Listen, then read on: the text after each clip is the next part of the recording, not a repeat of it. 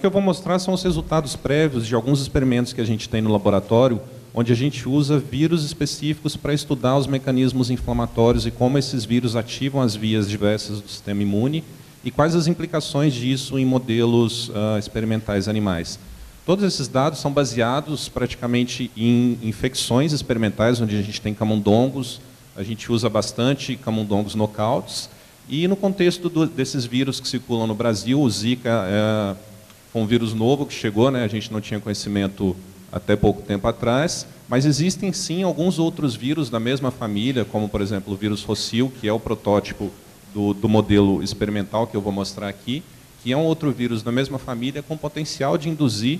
uh, uma doença neurodegenerativa, inflamatória, que uh, leva à lesão. Então, uh, os dados mostram um pouco da caracterização do contexto da resposta imunológica em modelos experimentais com esse vírus. Então, o que eu vou mostrar aqui é o papel da IL-33, que é uma citocina, uma lamina que é produzida em diversas situações, e como essa citocina regula todo um sistema de expressão de outros genes inflamatórios, outras moléculas inflamatórias dentro do sistema nervoso central e quais implicações disso para o desenvolvimento de lesão e de uma doença mais grave.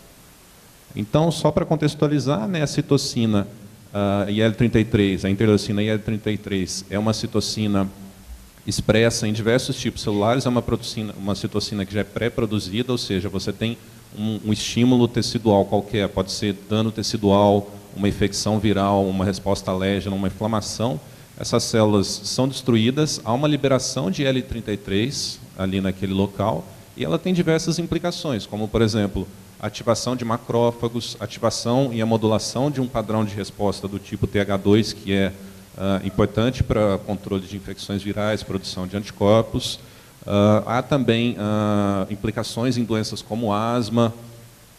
outros modelos experimentais, e no modelo de num contexto de infecção viral não havia ainda um, trabalhos que mostrassem a participação dessa citocina. Então aqui só para contextualizar, né, a L33, como eu falei, ela pode polarizar as células T para um padrão do tipo TH2, é uma citocina Uh, pode induzir a produção de citocinas pró-inflamatórias e quimiocinas, principalmente por mastócitos. A estimulação com IL-33, ela produz diversas outras citocinas, ou seja, você pega células específicas, estimula com IL-33, você tem um shift na resposta para um padrão específico, ela aumenta bastante a produção de TNF, que é uma citocina importante no contexto de infecções por flavivírus, como por exemplo o dengue. Uh, e em doenças, né, o que se mostra é que a IL-33, quando administrada em camundongos susceptíveis, ela confere resistência contra o modelo de infecção uh, parasitária. Isso está associado com o aumento do padrão de resposta tipo TH2, que é extremamente importante para o controle de infecções parasitárias, e suprimir a resposta do tipo TH1 e TH17. E, similarmente, em uh, infecções virais do sistema nervoso central, o que se sabia até então é que L33, a, a infecção viral induz sim a expressão uh, de L33 no sistema nervoso central, mas os, os efeitos da expressão e da produção dessa citocina em um sítio imunocompartimentalizado, um sítio imunoprivilegiado, como o sistema nervoso central, onde você geralmente não tem uh, células residentes e, uh, e, processos inflamatórios corriqueiros, qual a implicação da produção dessa citocina em modular a resposta local. Então, para isso, nós utilizamos o vírus Rocil, que é um vírus, um flavivírus, é da mesma família do Zika. Foi um vírus que foi identificado na década de 70, ele circulou e causou um surto de encefalite viral uh, no estado de São Paulo. E esse vírus sumiu, uh, poucos dados, a gente sabe que ele circula de uma maneira uh, muito baixa, em, e isso está relacionado com o aumento da urbanização e o desmatamento de áreas silvestres. E esse vírus ele tem sim um potencial de se espalhar, ele é transmitido por mosquitos, e ele tem um potencial de se espalhar e causar doença, e uma doença grave que é a, a, a encefalite viral. Nesse contexto, a gente já tinha alguns trabalhos prévios, onde a gente inicialmente caracterizou um modelo de infecção experimental, então a gente isolou esse vírus no laboratório, cultivou e infectava camundongos experimentalmente, a gente caracterizou toda a resposta imune inflamatória nesses animais, uh, especialmente no sistema nervoso central. Então, o vírus você infecta animais por via intraperitoneal, você recupera vírus no sistema nervoso central, você observa um grande número de células inflamatórias, e a gente começou a estudar o papel de moléculas específicas. Então, nesse contexto, eu vou mostrar aqui o papel da IL-33. Aqui, rapidamente, só para mostrar, quando a gente pega camundongos do tipo selvagem, infecta com diferentes concentrações de rocil, a gente vê que quando a gente dá uma dose letal, uma dose alta de vírus, a gente tem 100% de morte desses animais. A gente consegue modular isso dependendo do número da carga viral que a gente dá, ou seja, se a gente dá menos vírus, infecta esses animais com uma carga viral menor, a gente tem um aumento na sobrevida, esses animais apresentam sinais clínicos, eles perdem peso, você consegue observar a paralisia das pernas, a gente consegue traçar um score clínico onde você observa sinais da infecção e a gente recupera, logicamente, depois de alguns dias de infecção, uh, vírus no sistema nervoso central e dependendo da dose que você dá. Se você dá uma dose muito alta, você recupera mais vírus, esses animais morrem mais cedo, ou seja, eles têm uma doença mais grave. E se você modula para uma dose menor, há um atraso e um uh, alguns animais sobrevivem. Estudando o contexto inflamatório, a gente vê que tem um grande infiltrado de células CD3 negativa, isso provavelmente macrófagos, leucócitos em geral, no sistema nervoso central. Então você pega o cérebro desses animais, isola as células e por histometria você consegue caracterizar quais são as células que estão presentes no local. A gente vê também que tem um grande infiltrado de células CD3 positivas que ocorre no período mais tardio, isso está relacionado com a ativação de linfócitos, ou seja, os macrófagos chegam, iniciam um processo inflamatório e recrutam novas células, como, por exemplo, uh, células CD4 aqui e células CD8. Aqui, só para mostrar, uh, um animal não infectado, você tem uma pequena proporção de células F480, que são macrófagos no sistema nervoso central, e depois de sete dias de infecção, essa proporção aumenta bastante. Então, eles têm, sim, um, um mecanismo de inflamação ativa no cérebro. Quando a gente olha as moléculas, as citocinas, moléculas inflamatórias que estão sendo produzidas no local, a gente vê que há uma grande produção de TNF-alfa, que é uma citocina pró-inflamatória, está relacionada com ativação uh, do endotélio vascular, febre, enfim, diversos uh, mecanismos. Então a gente vê uma grande produção de TNF-alfa. A gente vê também que em períodos mais tardios, coincidindo com a chegada de células T, CD4 e CD8, a gente começa a observar uma grande produção de transcritos para interferon de transcritos de RNA para interferon gama, mas a gente não observa outras citocinas como por exemplo IL4 e IL17, que são citocinas de assinatura de padrões específicos, como por exemplo células TH1 e TH17.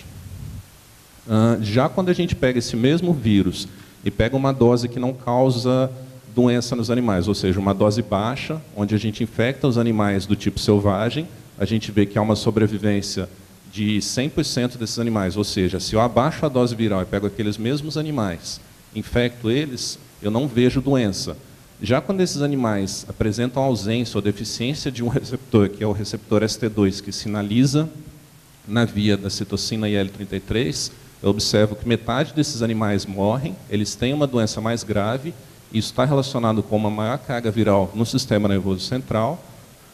maior produção de interferon gama no sistema nervoso central, TNF e também no soro, ah, principalmente TNF. E aqui um corte histológico, onde a gente tem os animais tipo selvagem, controle não infectados, então a gente vê aqui a meninge, o córtex cerebral, então a gente vê a ausência de células inflamatórias. A partir do momento que esses animais uh, selvagens recebem a infecção, nove dias após a infecção, a gente ainda consegue ver que esses animais não apresentam qualquer sinal de inflamação. Já quando os animais deficientes em L33 são infectados, após nove dias a gente vê a presença de um número maior de infiltrado de células inflamatórias no sistema nervoso central. Ou seja, a L33, nesse contexto, ela estaria atuando como uma citocina protetora, onde a ausência da sinalização de L33 leva ao aumento da resposta inflamatória local, e isso tem consequências uh, na inflamação como um todo e na sobrevida desses animais. A gente caracterizou ali, uh, por citometria de fluxo, uh, a produção de citocinas e quais células exatamente estavam produzindo quais citocinas. Então, a gente tem aqui células CD4 no painel de cima, produtoras aqui de L10, de interferon gama e de TNF. Então, a gente vê que após sete dias, naqueles animais nocautos, quando comparado com os animais tipo selvagem, ou seja, aqueles animais que apresentam ausência da IL-33, quando comparados com aqueles animais que têm a capacidade de produzir IL-33, a gente vê que tem um aumento na produção de interferon gama e de TNF, ou seja, a IL-33 atua como uma citocina protegendo uh, da inflamação local do sistema nervoso central. E o mesmo a gente observa para a célula CD8. A gente vê que tem um aumento na produção, especialmente de interferon gama, que é muito maior, uh, de célula CD8 proveniente de animais nocautes para o gene da IL-33. Caracterizando um pouquinho melhor, um dos efeitos da produção né, de, de, de, quantidades maciças de interferon gama é a ativação de outras vias, como, por exemplo, a modulação de macrófagos para um tipo mais inflamatório. Esses macrófagos produzem moléculas específicas, como, por exemplo, óxido nítrico e outras citocinas, e isso tem um potencial de gerar dano tecidual extenso. Então, aqui, a gente usa a gente observa no soro que no soro desses animais não há qualquer diferença na produção de óxido nítrico. Já no sistema nervoso central, quando a gente analisa os transcritos de AINOS, que é uma enzima que induz a produção de óxido nítrico, uh, quando há ausência da IL-33, a gente observa uma grande quantidade dessa, de transcritos dessa enzima. E isso uh, sugere que aqueles animais, ou seja, ausência de IL-33 aumenta a produção de interferon gama, que por sua vez modula uh, de uma forma positiva a produção de óxido nítrico. Uh, isso tem implicações na proteção, mas a gente vê que uma outra molécula que é produzida pelos macrófagos, como por exemplo a ginase 1, que está relacionado com o fenótipo de macrófagos protetores, a gente não observa a diferença, ou seja, a ausência da IL-33 induz um padrão de macrófagos de um tipo mais, de um tipo mais inflamatório relacionados uh, a dano tecidual. Aqui só para ilustrar né, a ausência do, da sinalização via L33 em animais infectados, a gente tem um aumento né, na proporção também do número de macrófagos, nessas células são mais inflamatórias, estão chegando em maior quantidade. Uh, a gente vê aqui a produção uh, da proteína mesmo, ou seja, aqui em azul a gente vê um deslocamento para a direita da produção de aenose, então esses macrófagos eles estão realmente produzindo muito mais uh, enzimas relacionadas à estimulação da via do óxido nítrico, e quando a gente pega esses mesmos, uh, esse mesmo vírus, infecta animais que são deficientes dessa enzima, aí nós, então a gente pega aqui uma dose letal, se a gente lembrar lá do começo, é a mesma dose onde a gente tem 100% de morte dos animais, então assim, uh, com 9, 10 dias, 100% dos animais estão mortos com essa dose de vírus. E quando eu pego animais e dou essa mesma dose, mas animais deficientes para nós, eu vejo que há uma proteção uh, parcial da, da sobrevida, ou seja, a ausência de ANOS modula uh, positivamente, esses animais ficam protegidos do processo infeccioso e a morte é diminuída. Isso tem contextos para a ah, implicação dos estudos de Zika vírus, então a gente sabe que o, o vírus Zika ele está relacionado com o neurotropismo, a gente consegue identificar a presença do vírus Zika em amostras do líquido cefalorraquidiano de casos clínicos, e a gente conseguiu identificar isso no laboratório, no departamento de virologia. Ah, a partir daí, a gente conseguiu acesso a amostras clínicas e a gente tem hoje no laboratório quatro isolados virais, ou seja, a gente conseguiu isolar de casos de pacientes com infecção por Zika quatro uh, vírus diferentes. Um deles foi totalmente sequenciado, graças ao, aos nossos colaboradores em Glasgow. E a gente tem desenvolvido atualmente no contexto de Zika protocolos de biologia molecular, testes sorológicos, e também eu tenho utilizado esses vírus aqui para extrapolar esses vírus utilizando modelos de infecção in vitro para estudar os mecanismos inflamatórios que esse vírus induz e quais as implicações disso no tratamento ou no controle no desenvolvimento de doença grave. Então, aqui resultados bem preliminares, né? Uh, quando a gente pega aquele vírus isolado aqui da, da, região de Pernambuco e coloca esse vírus em contato com células neuronais, são células de linhagem humana, neuroblastoma, a gente infecta com Zika numa grande, uma dose X, aqui no caso o MOI de 5, a gente começa a observar que após 4, 5 dias há uma destruição da, da camada celular, ou seja, o vírus está induzindo morte celular, e isso a gente consegue observar uma grande extensão de células entrando em necrose, e isso ocorre uh, em um tempo sequencial. Então a gente vê que o vírus, aqui células não infectadas, a gente vê um aumento da proporção de células duplo marcadas, ou seja, a, a infecção pelo vírus Zika induz sim morte celular.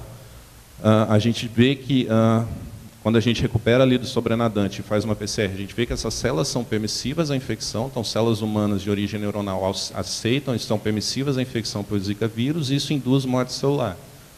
A gente tem dados, eu não vou mostrar aqui, mas a gente sabe que em neurônios a produção de mediadores inflamatórios é extremamente regular, então o neurônio não sai por aí fazendo moléculas inflamatórias. E a gente fez um perfil das moléculas inflamatórias que estavam sendo produzidas na cultura